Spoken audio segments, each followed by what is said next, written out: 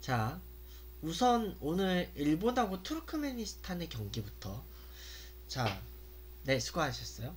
그 일본하고 투르크메니스탄 하마터면 일본이 질 뻔했죠. 그나마 일, 일본이 후반에 세 골을 막 몰아넣으면서 역전을 한 결과 결 이제 후반에 이제 만회골을 좀 허용을 하긴 했음에도 불구하고 이렇게 3대 2로 승리를 했죠. 그래서 일본은 이겼어요. 그래서 근데 일본은 하마터면 호주의 전철을 밟을 뻔했어요. 탑시드 국가들 중에서 음, 탑시드 그 국가들 중에서 C조 이란, D조 에, C조 대한민국, D조 이란, E조 사우디아라비아, 그리고 F조 일본 이렇게 네 나라는 이겼고 A조 아랍에미리트는 비겼고 그리고 B조 호주는 졌죠.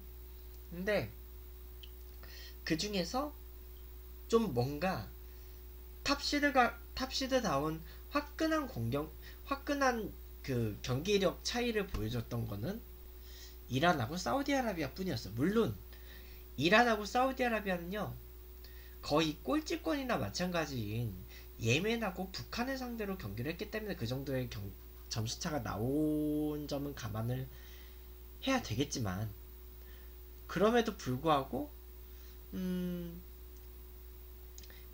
대한민국하고 일본은 그냥 체면만 세운 정도였고 그리고 이란하고 사우디아라비아도 솔직히 제, 제 생각은 예멘하고 북한을 상대로 경기를 한 거였기 때문에 이 정도 차이가 났을 것이다. 저는 그렇게 생각하거든요. 응. 근데 북한이 전반전 때 전반전에서 한 명이 퇴장을 당하면서 한순간에 무너졌어요. 그래서 그 무너진 전반 때 한 명이 퇴장당한 이후 북한은 제대로 된 그 경기력이 나오지 못했죠. 그때부터 그냥 속절없이 골 먹히고 졌죠. 음. 그러니까 북한은 퇴장만 안 당했었으면 그렇게까지 큰 점수를 치진 않았을 것 같았다는 느낌이 있었고 예멘은 솔직히 예멘이라는 그 국가가 지금 현재 내전 상태예요. 그래가지고 그 지금은 이제 아시안컵 출전을 위해서 잠깐 휴전을 했는데 그럼에도 불구하고 예멘은 현재 그 예멘에서 경기를 할 수가 없어가지고 예멘은 그동안 아시안컵 지역에서 홈 경기를요 그 전부 다 그 이웃 나라인 카타르에 가서 했어요. 하여간 그랬고 그래서 예멘하고 예멘은 그런 사정이 있, 다는 점을 좀 감안을 해야 되고 그리고 그 북한은 북한은 솔직히 모르겠어요. 예멘이야 뭐 자기네 그 국가 사정도 그 사정이 다 예멘은 솔직히 이번 본선에 출전한 것 자체가 기적인 나라고. 음. 그리고 일본은 하마터면 투르크메니스탄한테 후반에 정신 안 차렸으면 털릴 뻔했고요.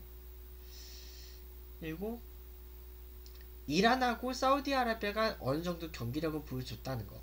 근데 사우디아라비아는 결국 이제 그 한 중 한 중반부터 그 수적 우세를 좀 갖고 했던 하는 점 좀 감안을 해야 될 것 같아요. 그렇고 음 글쎄요. 이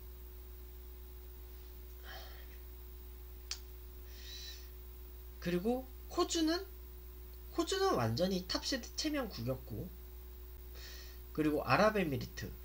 아랍에미리트는 그래 개최국이야. 개최국인데 그냥 개최국일 뿐. 탑시드에 올라갈 만한 실력은 아니긴 해요 솔직히 아랍에미리트는. 음 근데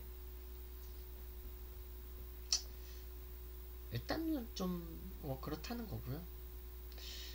그 솔직히 대한민국하고 일본은 1차전에서 그렇게 썩 만족할 만한 경기를 보여주진 못했다고 봐야죠.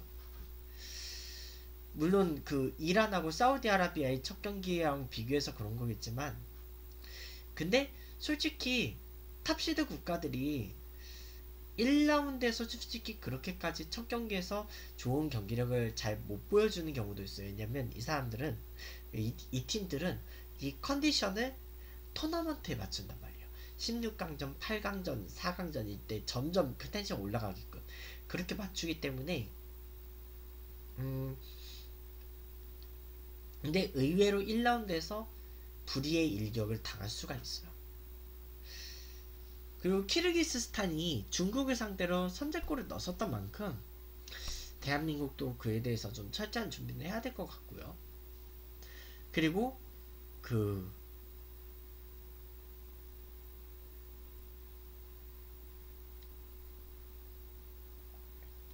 뭐냐 그리고 그 다음에 또 카타르도 이겼죠. 카타르는 카타르는 이번에 탑시드는 아니지만 그래도 주목을 할 필요가 있었던 게 그 물론 상대가 레바논이라 그런 것도 있긴 한데 카타르는 이제 몇 년 뒤에 월드컵을 해야 돼요. 월드컵을 개최를 해야 되는 국가기 때문에 개최국이 솔직히 1라운드 통과 못하면 개망신이잖아요. 과연 그런 망신은 당하지 않을 수 있을지 이번 대회의 카타르 성적도 한번 좀 지켜볼 필요는 있어요. 대한민국은 볼수록 놀라워요. 글쎄 아직까지는 그렇게 놀라울 만한 모습은 아닌 것 같은데 뭐 일단은 그래요. 그렇고 음, 자 그러면요 그 오늘은 제가 그 이따가 오후에 그 컬처 삼국지 일정 때문에 죽전에 가잖아요. 그래서 오늘 20시 첫 경기는 제가 그 죽전에서 서울로 오는 교통 상황에 따라서 중계 시간은 못 맞출 수도 있어요. 그러면 아마 중계를 못 할 수도 있어.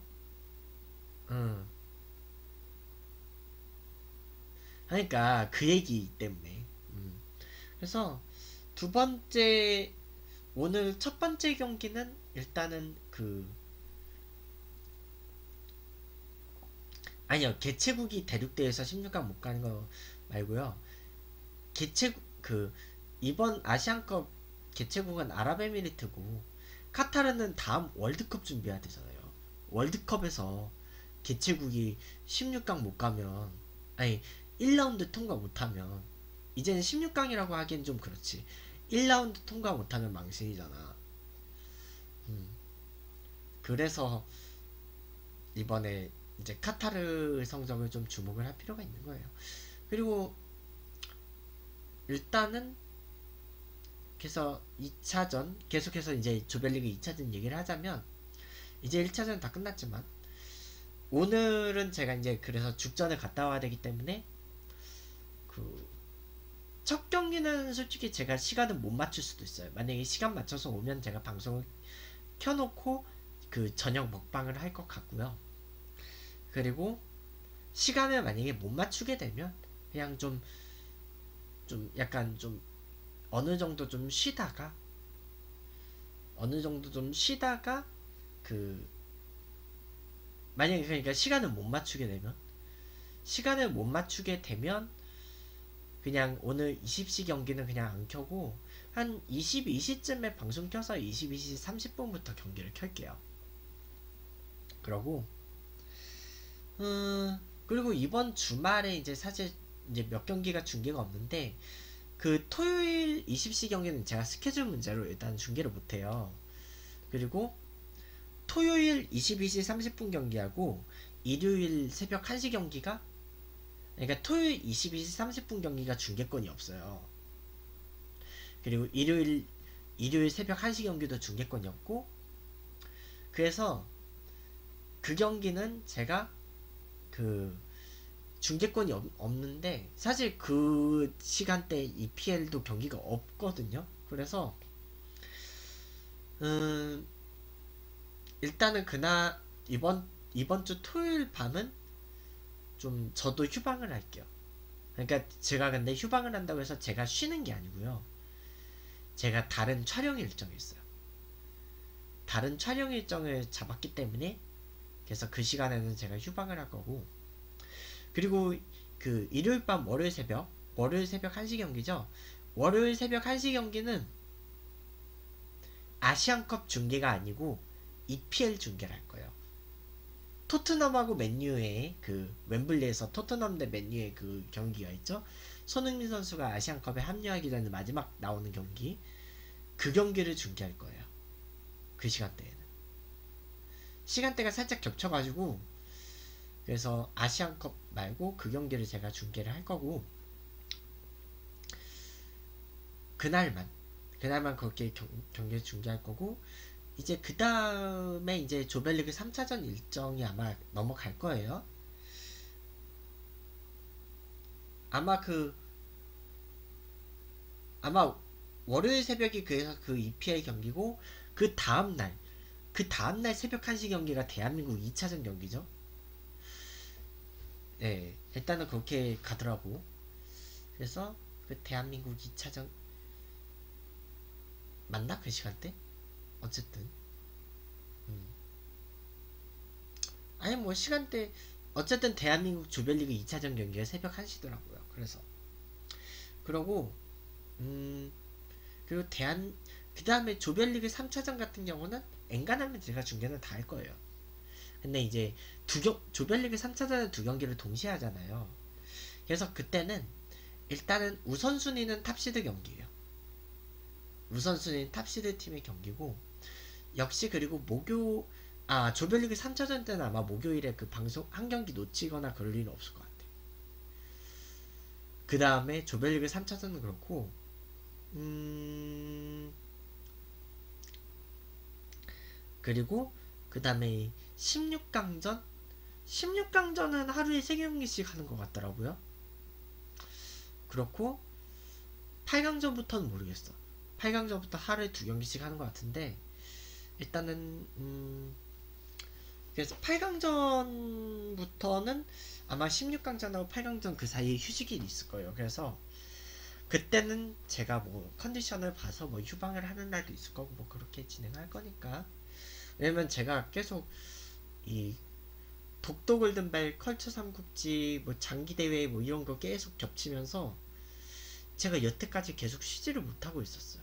그래서 음, 아마 아시안컵 끝나고 설날 때는 뭐 제가 서울에 있을 것 같으면 서울에서 그 중계를 하는 그 중계만 켤 거고요. 아니면 게임 방송이나 하든가 명절 때 아니면 조금 쉬든가 그렇게 갈 거고 그 다음에 설날 그다 끝난 다음에 첫 번째 주말에 토요일 밤 일요일 새벽에 제가 아마 그때는 선약이 잡혀 있기 때문에 아마 하루 휴방을 하는 날이 있을 거예요. 하여간 좀 몸이 쉬는 게 쉬는 게 아니는 그런 일정이긴 한데 아마 좀 진짜 맘 놓고 하루를 푹 쉴 수 있는 그런 날이 오려면 아마 컬처 삼국지 끝나야 될 거예요. 컬처 삼국지 끝나면 아마 그냥 하루 푹 쉬어야 될 것 같은. 네, 일단은 그래요. 자, 그러면 일단은 이 아시안컵 조별리그 1차전이 모두 끝난 그 관전평은 여기까지 하도록 할게요.